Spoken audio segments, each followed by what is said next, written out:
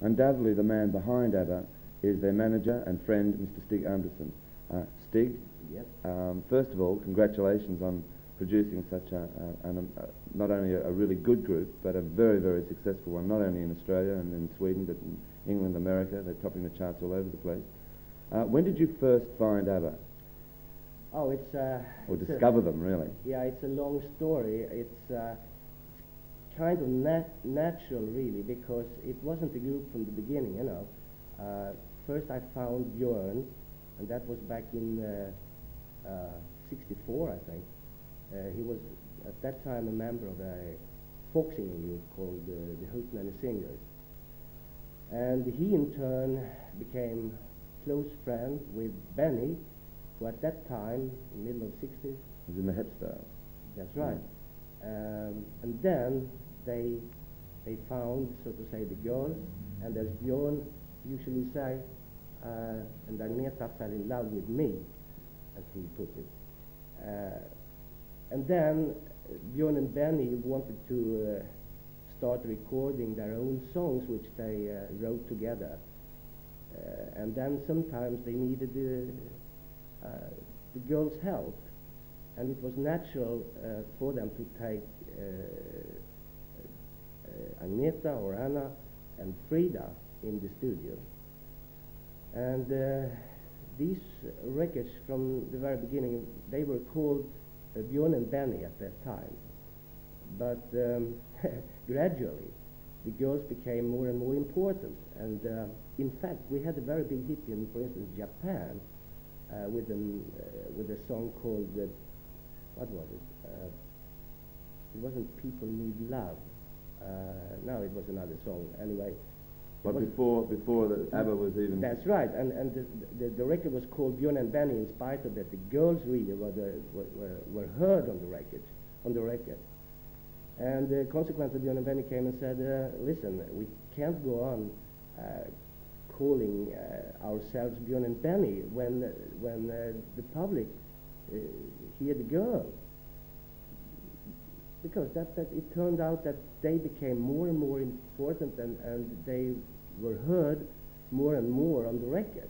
So I said, you, you don't come to me and say we should call it Bjorn, Benny, Agneta and Frida because it will kill foreigners, you know.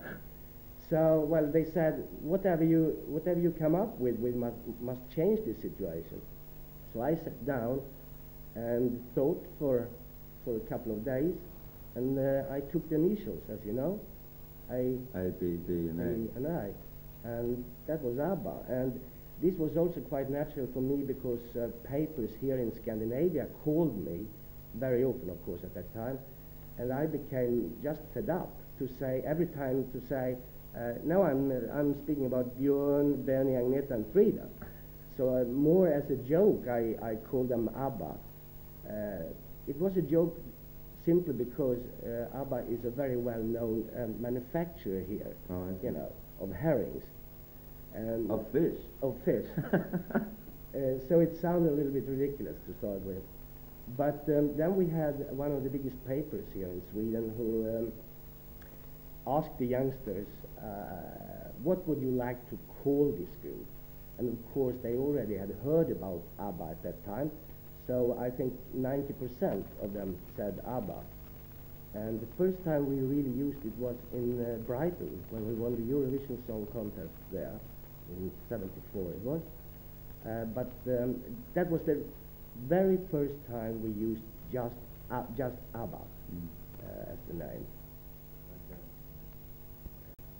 Now, with um, uh, back to 1974 in Brighton, Waterloo, um, it won the Eurovision Song Contest, and then you recorded it as a single. Then, after the, the con- contest, you released it as a single.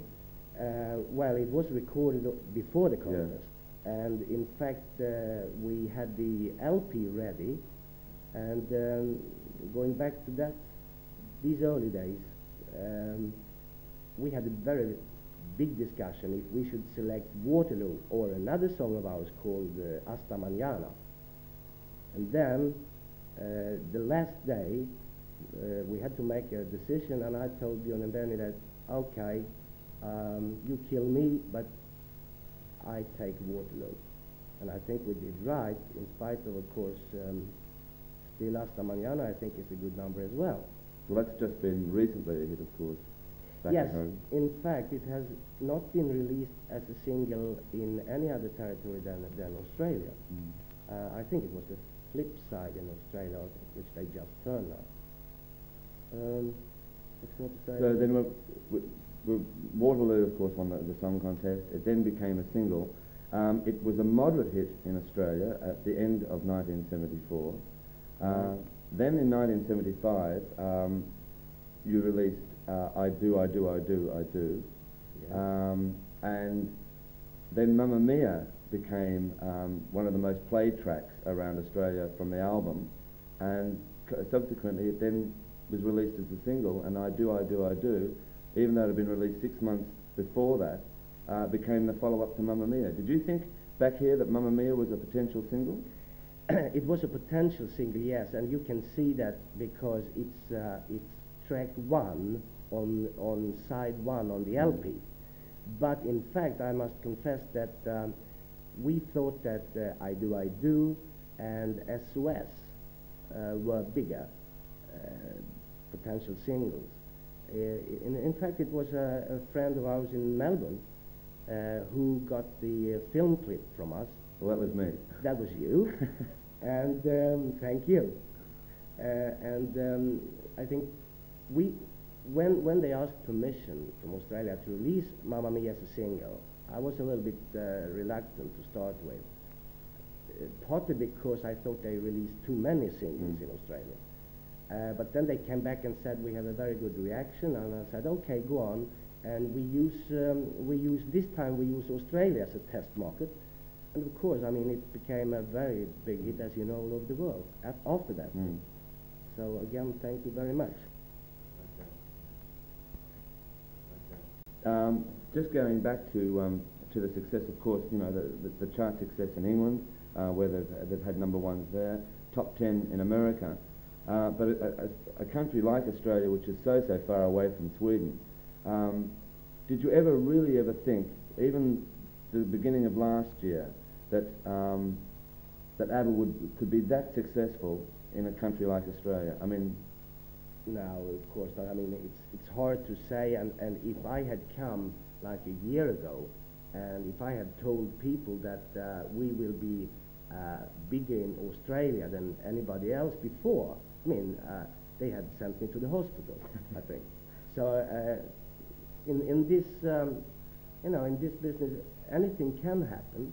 And of course, we are very, very happy with the situation in, in not only in Australia, but Australia as well.